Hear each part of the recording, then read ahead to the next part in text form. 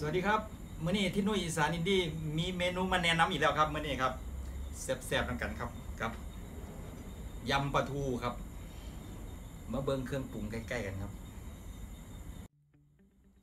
เครื่องปรุงยำปลาทูของเขาครับมื้อนี้ครับกะสิมีปลาทูนะครับ ผมทอดไว้แล้วครับปลาทูรากา มีสารแน่ครับนี่สารแน่นี่เอาไว้เอาไว้ถัดโรยหนา เวลาเขาปรุงเสร็จเรียบร้อยแล้วนะครับ แล้วก็มีหอมหอมผักชีนะครับ แล้วก็มีตะไคร้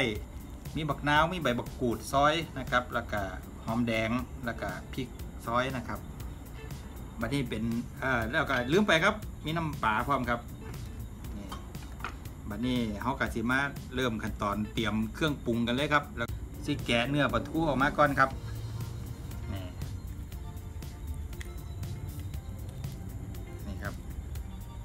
ใส่ดีก็เอาแบบนี้แล้ว เอามันแบบนี้เลยเอากลางออก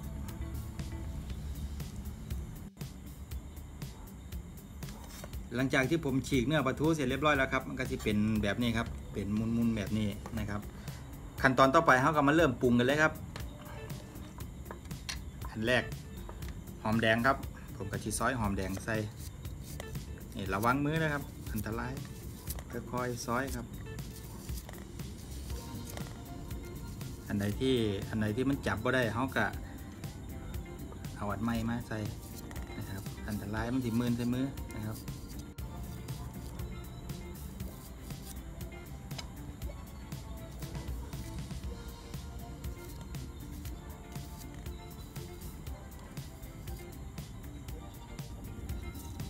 หลังจากที่เขาซอยหอมแดงเสร็จเรียบร้อยแล้วครับ อันนี้เขากับมาซอยตะไคร้ครับ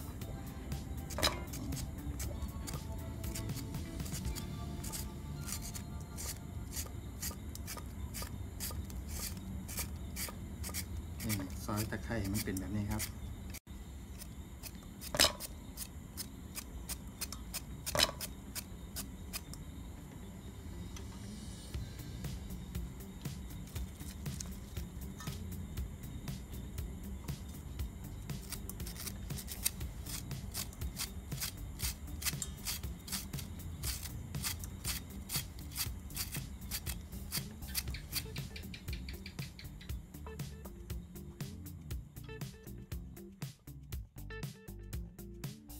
ส่ตะไคร้แล้วครับ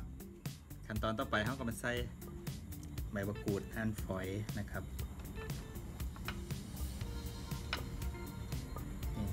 ใส่ใบมะกรูดเสร็จเรียบร้อยแล้ว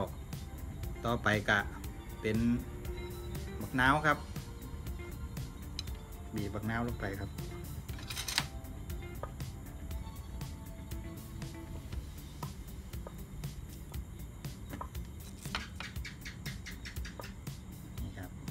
ใส่ลงไปจากสองซีกพอ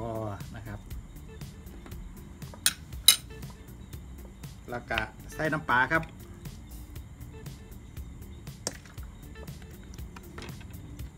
แล้วก็ใส่พริก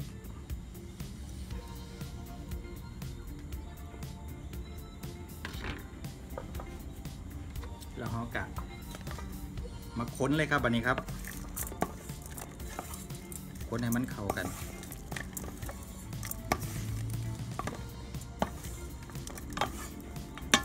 นี่คนไปค่อยๆค้นครับใจเย็นๆ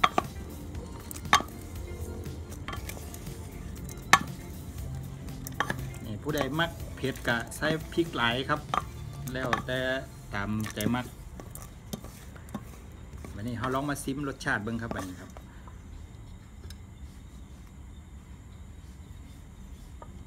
ลองมาซิมเบิงนี่ครับ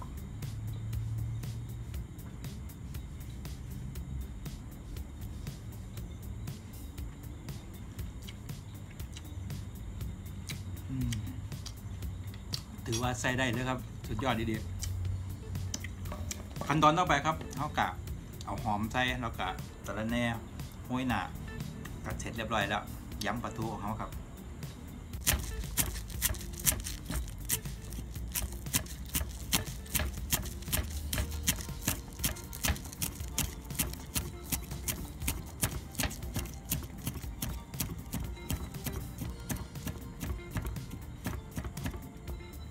ขั้นตอนต่อไปครับเขากะโห้ยด้วยหอมเลยครับ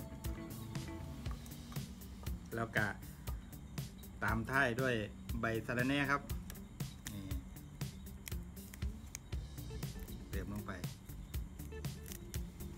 เพื่อเพิ่มกลิ่นหอมเพิ่มสีสันให้มันเป็นอ่าตะแซ่บขึ้นมาครับ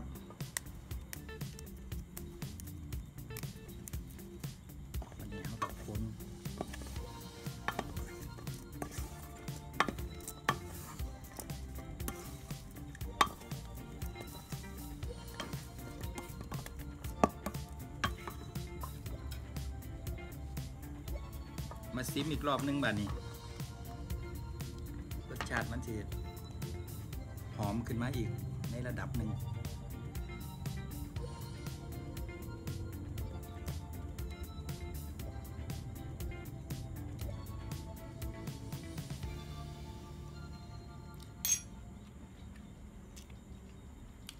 เด็ดขาดครับ สูตรนี้ครับ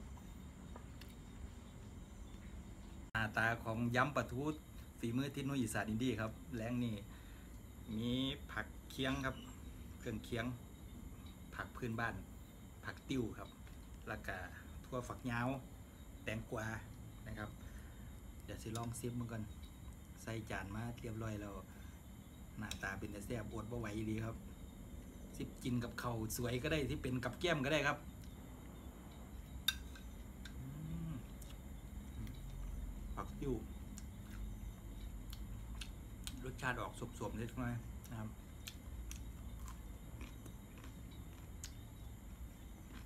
เข้ากันนี่ดีครับสุดยอด